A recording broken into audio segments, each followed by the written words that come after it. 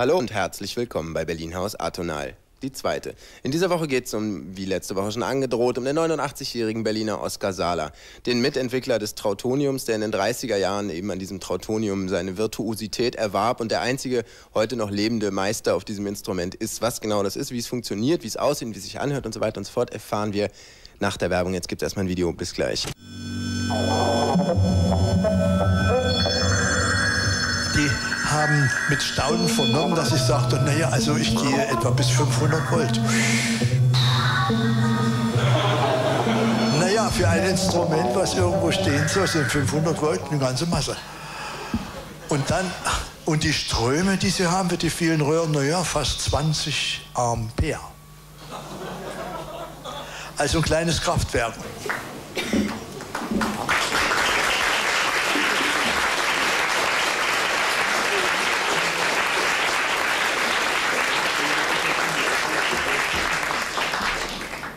Ich beginne mal mit einer musikalischen Titelansage. Das habe ich mal gemacht und das finde ich auch ganz schön mal. Ich wiederhole es hiermit.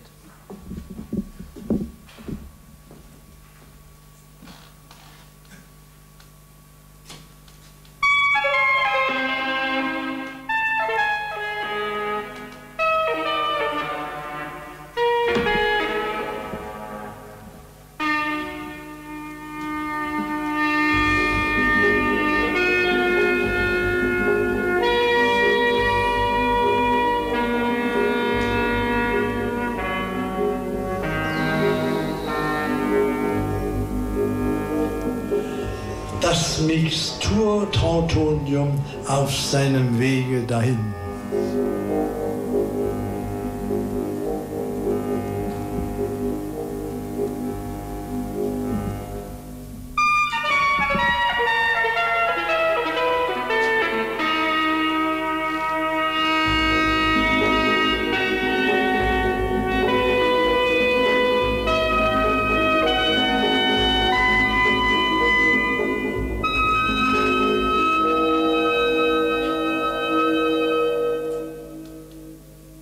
Das waren die ersten Manuale, die wir bekamen von dem Dr. Trautwein. Metallschienen, so ein bisschen gekröpft, die lagen auf dem Tisch und darüber war ein dünner Draht gespannt.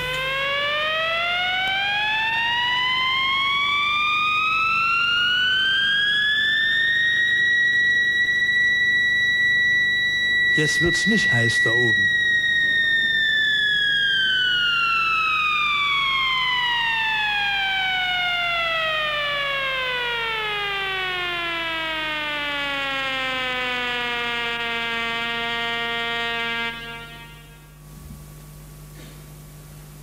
Das untere Manual war, da war schon ein zweites Manual. Sie sehen, wir sind schon fortgeschritten.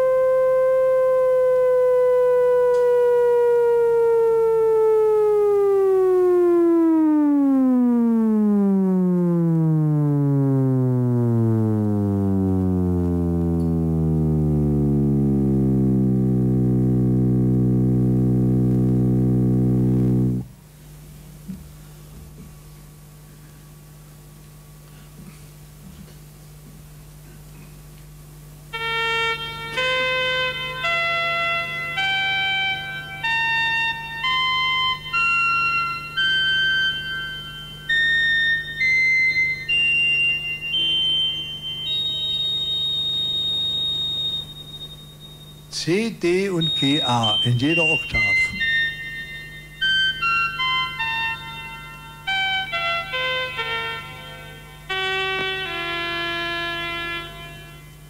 Das hat sich bewährt, weil man einen großen Abstand hatte, CG und GC einen kleinen.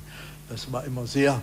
Und die sehen gleich, wenn man die Tonleiter spielt, dass das ein schönes System ist.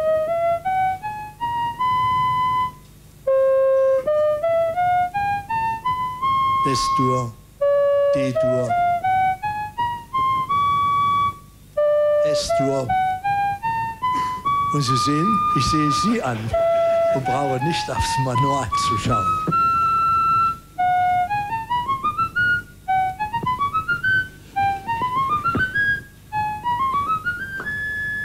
Es ist immerhin wichtig, dass das geht. Und nun kommt noch etwas sehr Interessantes, das habe ich beim Rundfunktrautonium, was ich später gebaut habe, zum ersten Mal gemacht. Der Fuß da unten hat einen seitlichen Kontakt, so und so. Und jetzt kann man, wie Sie sehen, die Tonleiter noch weit besser spielen.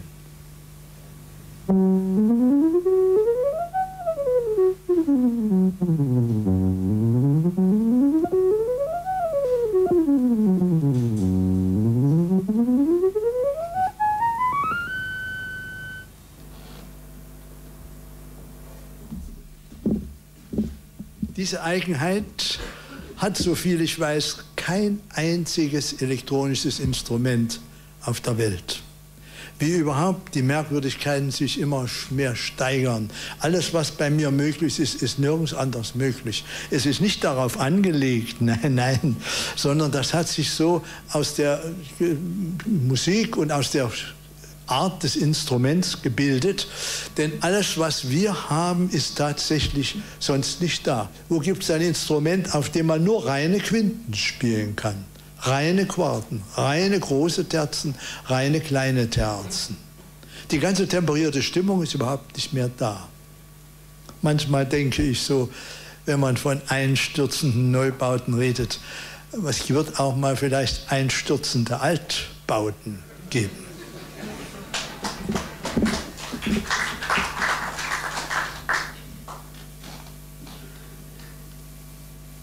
So ging das mal los als der Dr. Trautwein die ersten Erfindungen mit der Klangfarbe machte. Dann hinterher hörte man bei uns solche Laute. Achtung, mach mal ein bisschen mehr.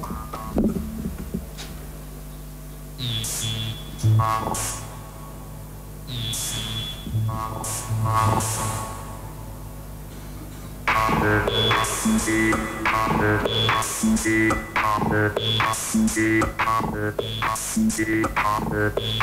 you.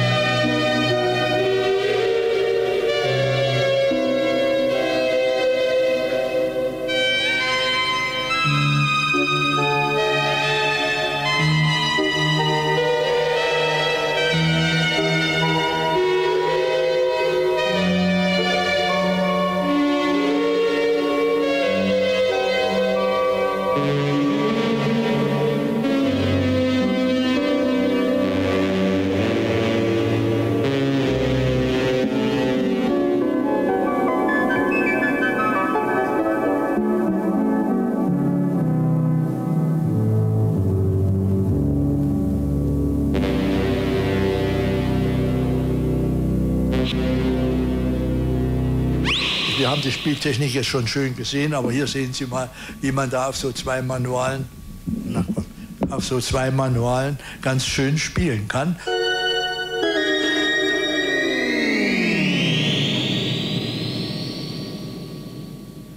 So sah es aus, als Telefunken sich mit dem Trautonium beschäftigt hat.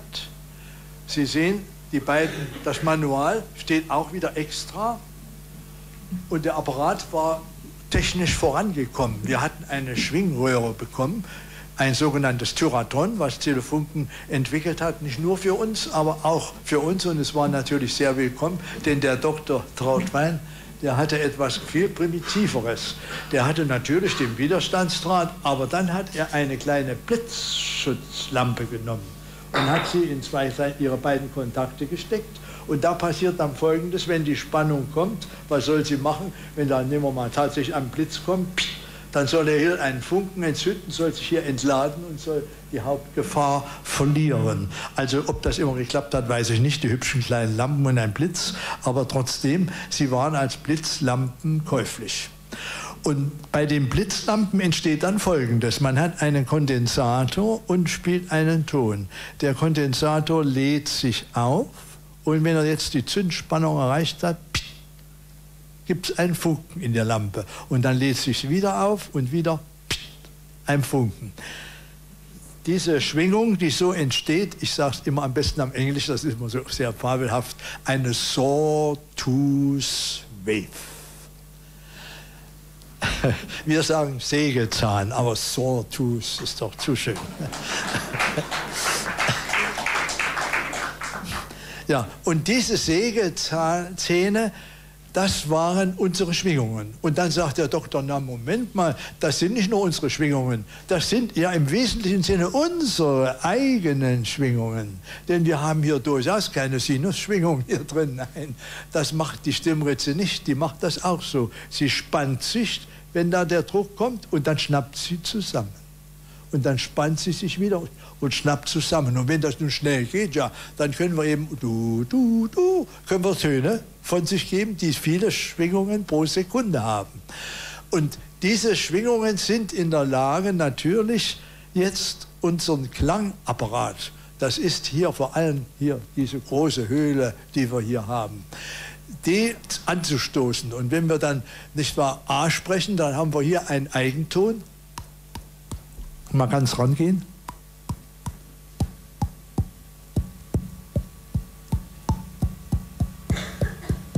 Na, also es klopft natürlich mehr als Ton, aber Sie hören, die Töne gehen dann nach unten und gehen dann nach oben.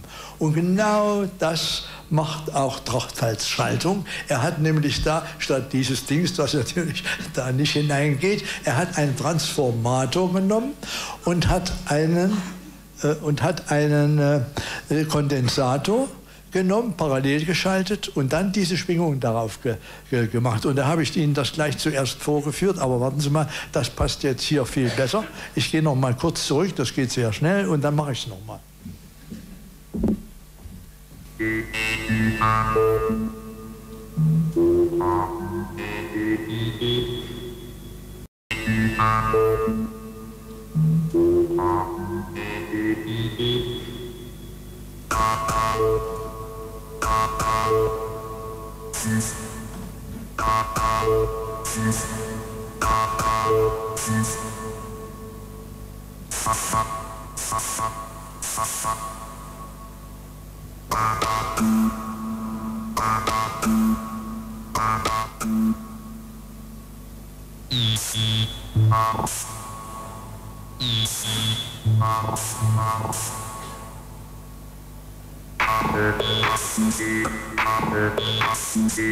Mein erstes künstliches Wort.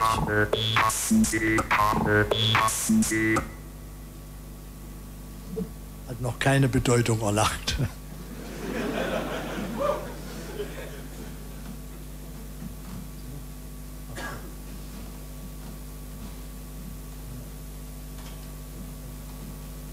Dann halten wir mal wieder an.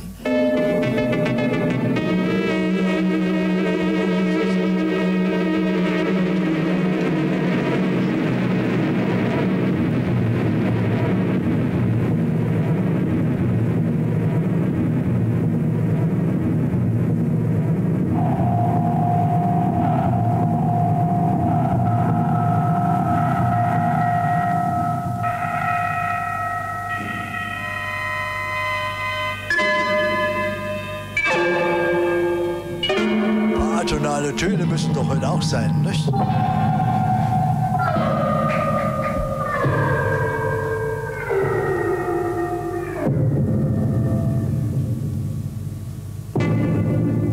Nochmal das nächste Bild. Aha, ja. Ich weiß nicht, was das Bild soll, das war vorhin schon mal drin. Das ist ohne mein Zutun hereingekommen, jedenfalls.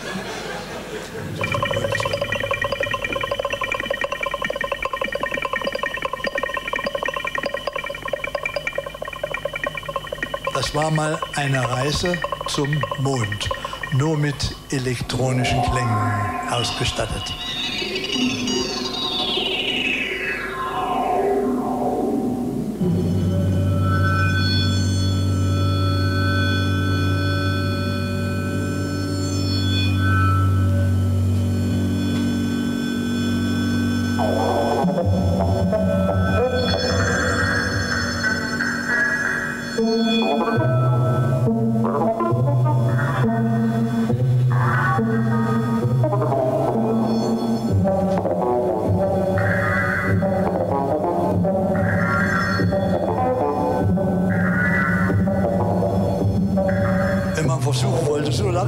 brinco para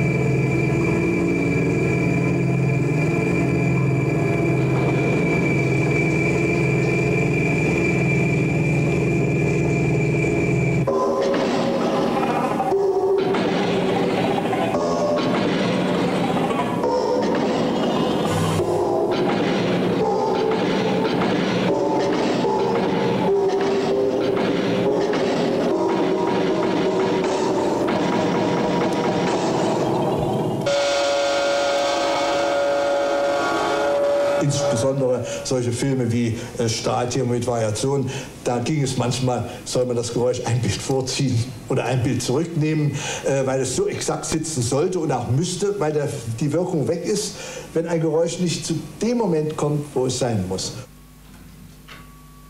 Ja? Ach so, was ist denn das? Aha. Naja, da war irgendeine Unterschrift, wieso kommt da nicht oben? So, ja, gut. Ja, und jetzt, meine Damen und Herren, kam dann allerdings nach dem Krieg und ziemlich lange nach dem Krieg, kam dann die große Sensation, von dem ich hier ein Bild bringe. Nun habe ich da noch ein kleines Band, ja.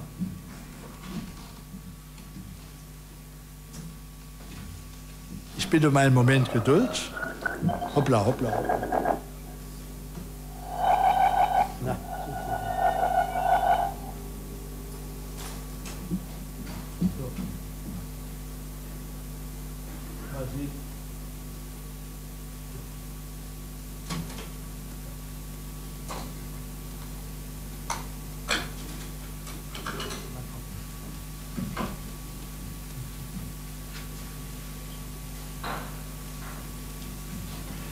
Man kann, meine verehrten Zuhörer, nicht am Anfang immer überblicken, wann was kommt.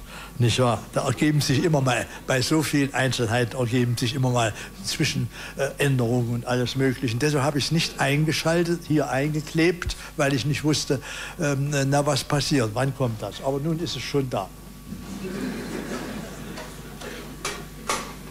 Nehmen Sie an, Sie haben eine Seite auf der Geige so lang. Das ist jetzt Ihr Ton. Jetzt sollte den Unterton, die erste Oktav, da muss es so lang werden, das Doppelte. Und dann geht es noch länger. Wie soll eine Geigenseite sich so ziehen lassen? Und wer soll das machen? Ja. Und das trifft für alle Instrumente zu. Die Blasinstrumente natürlich unterteilen mit diesen hübschen kleinen äh, äh Sachen, die sie da noch entweder rausziehen oder reinstecken können. Da kommen natürlich auch die Zwischentöne raus. Aber wie sollen sie denn das vergrößern? Da vielleicht noch so noch was vors Mundstück setzen oder irgendwie. Niemand hat sowas je probiert. Ähm, und es ist auch unmöglich. Also zeigt sich jetzt, dass die subharmonische Reihe ein spezifisch elektronisches Klangproblem ist.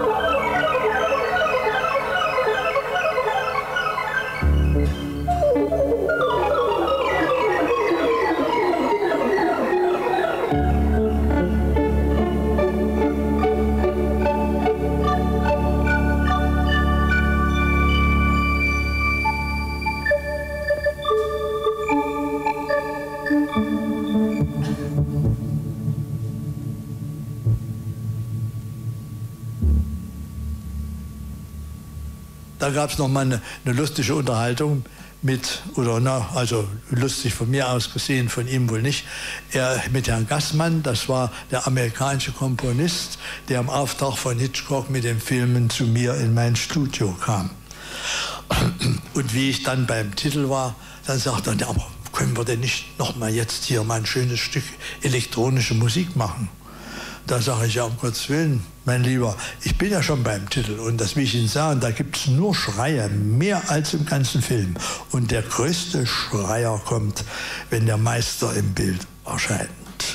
Ach du lieber das würde er nie machen, na sage ich. Ich habe ihn noch nicht kennengelernt, aber ich kenne seinen Film und so war es natürlich auch.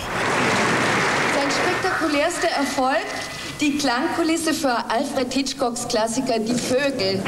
Darf ich bitten?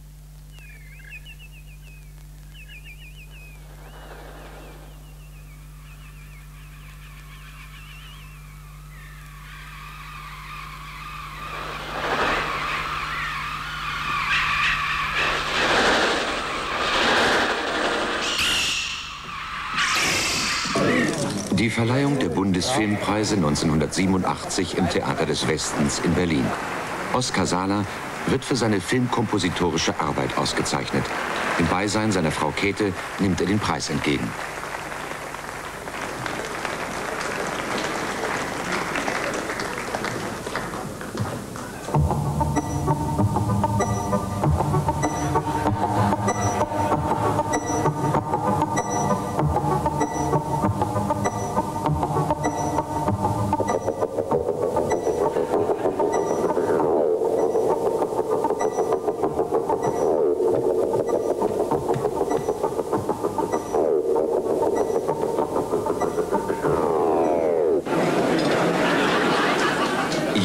Jahr werden hier neun Personen geehrt, die sich um den deutschen Film besonders verdient gemacht haben. Oskar Sala hat in den letzten 30 Jahren hunderte von elektronischen Kompositionen für Spiel, Industrie, Dokumentarfilm und Fernsehspiele geschrieben und eingespielt. Aber eigentlich bekannt geworden ist er vor allem durch die meisterhafte Vertonung des Hitchcock-Films Die Vögel im Jahr 1962.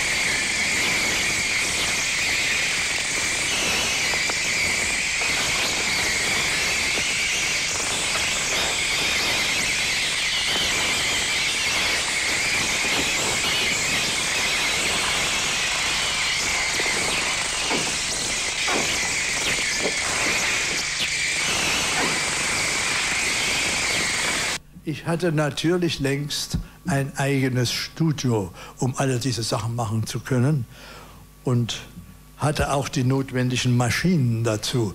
Der, alles, was an Hitchcocks Film ist, ist in meiner eigenen Regie gemacht.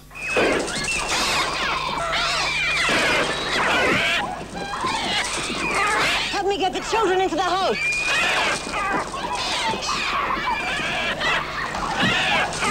Das war auch eine besonders schwierige Szene. Den Film, diesen Akt hat man uns vorher geschickt, bevor der ganze Film kam, damit wir beweisen konnten, ob wir das schaffen.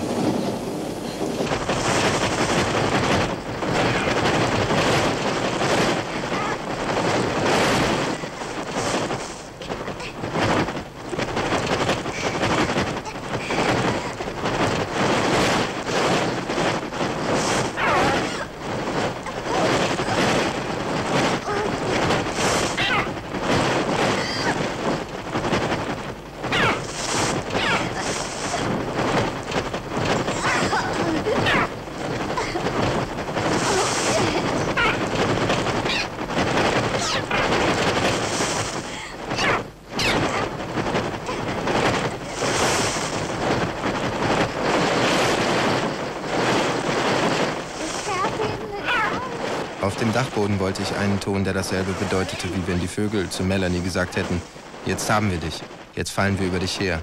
Wir brauchen kein Kampfgeschrei auszustoßen, wir bringen uns nicht in Wut, wir werden einen lautlosen Mord begehen.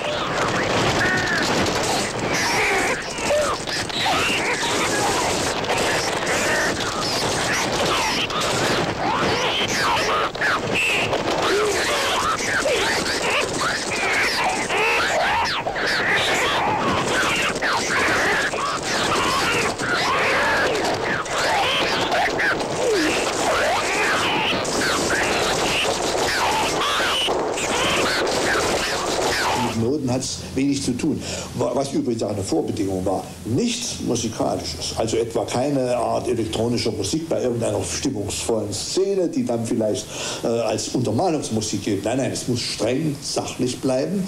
Nur muss es eben die Fremdartigkeit und die Wirrnis dieser Tiere immer ausdrücken. Das muss daraus hervorgehen. Das war so das Hauptmotto, unter dem wir gearbeitet haben.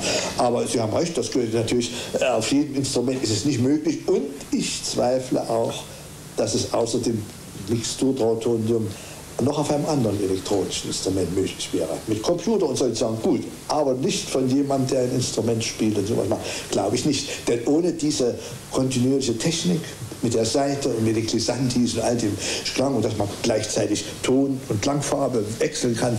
Wo ist denn das? Also, ich frage, ich weiß es nicht. Ich habe es aber noch nicht gehört.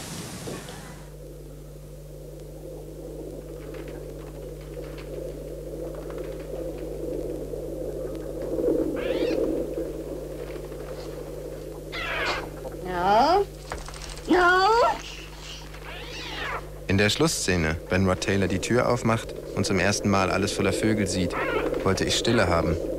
Aber nicht irgendeine Stille, sondern eine elektronische Stille. Von einer Monotonie, als hörte man in der Ferne das Meer. In die Vogelsprache übersetzt bedeutet dieser Ton künstlicher Stille, wir sind noch nicht ganz so weit, euch anzugreifen, aber wir bereiten uns vor. Wir sind wie ein brummender Motor. Gleich werden wir anspringen.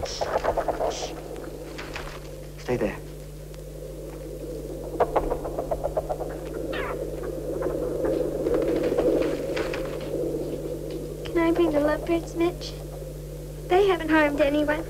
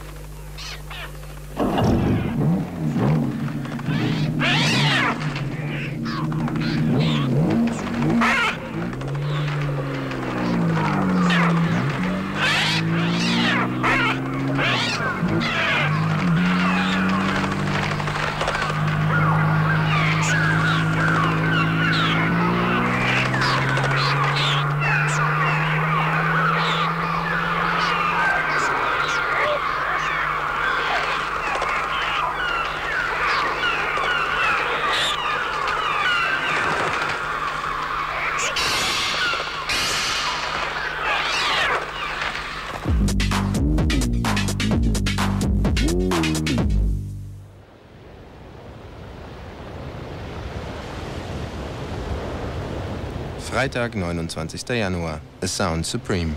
Ferio Baku. ND. Vico. Muffin. Eimer. Rosenthaler Straße. Berlin.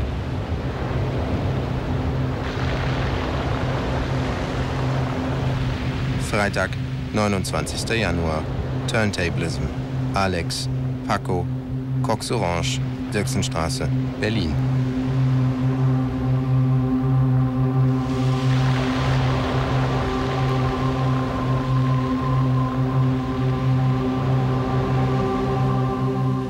Samstag, 30. Januar. Formic meets Hardwax. Matthias Schaffhäuser, Christian Morgenstern, Carl Finlow, Pete, Monolake, Thomas Brinkmann. Stammheim, Sandershäuser Straße in Kassel.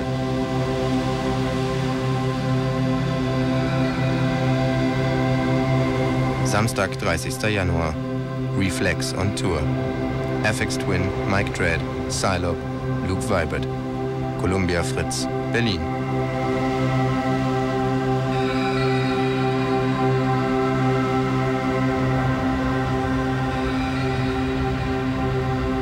Samstag, 30. Januar. Labyrinth. Colin Favor, Christine, Hausmeister im Matrix in der Warschauer Straße in Berlin.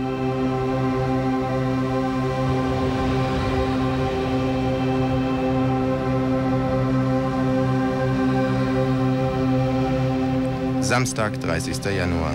Electric Kingdom Club Tour. Westbam, Afrika Islam, Hardy Hard, Icon, Columbia Halle, Berlin.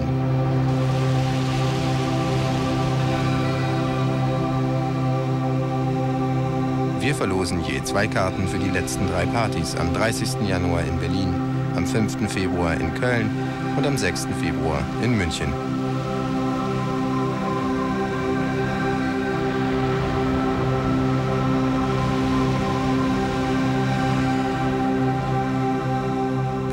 House präsentiert am Samstag, den 30. Januar Get Wicked, DJ Woody und die DMX Crew im Glashaus Berlin.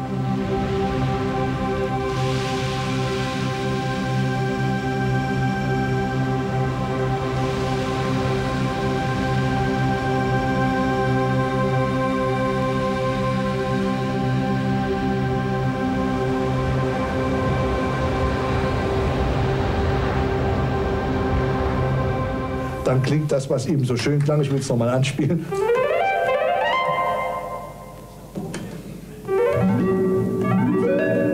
Oder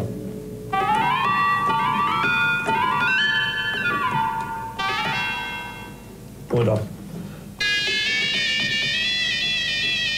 Wie war denn das bei den anderen Instrumenten eigentlich? Ja, wie war es denn bei der Geige? Wir kennen zwei Höhepunkte. Ein Geigenbauer ganz oben und ein Geiger ganz oben. Ja, und dann habe ich mal nachgelesen, wann war denn das? Also der Geigenbauer Stradivarius etwa ab 1700 bis etwa 30, das war wohl sein Höhepunkt. Er starb dann wohl um 1740 etwa.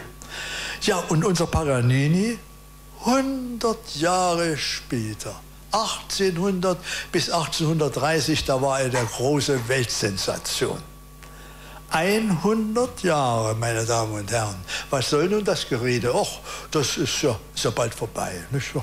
Die paar Jahrzehnte oder die paar Jahre, die jemand noch lebt, die überstehen wir auch noch nicht. So einfach wird das hier mit Sicherheit nicht. Und denken Sie nicht, ich, gut, ich bin bis jetzt der Einzige, der die Dinger überhaupt gebaut hat sie fertig gekriegt hat, so will ich mal sagen.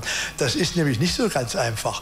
Aber es sind welche Leute dabei mit großem Eifer diese Instrumente zu bauen. Und wenn das erstmal gelingt, na, dann werden wir mal den Stradivarius des Trautoniums erleben, das hoffe ich. Und dann werden wir auch die Paganinis des Trautoniums erleben. Da wird es natürlich noch immer mal einen geben.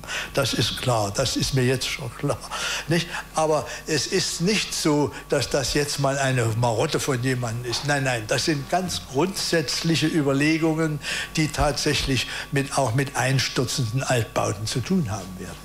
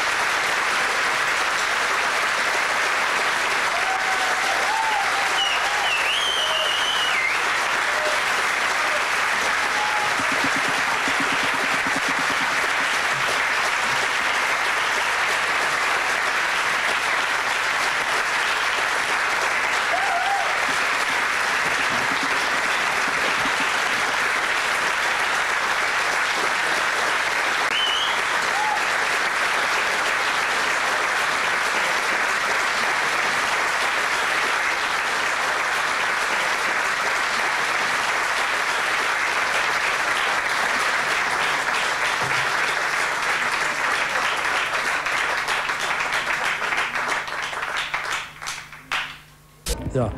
Naja, ich höre eben, ich habe eine Sendung für Sie gemacht. Ja. Ich bedanke mich, hat mich sehr gefreut. Sehr nette Leute um mich herum und haben mich interessant ausgefragt. Das war's. Wir sind mal wieder am Ende einer Berlin-Haus-Sendung angelangt. Das heißt natürlich nicht, dass wir uns nie wiedersehen. Nächste Woche geht's schon weiter. Ich hoffe, euch hat es heute ein bisschen Spaß gemacht. Wir haben mal eine Sondersendung eingelegt, aber ich denke, das Thema war es wert.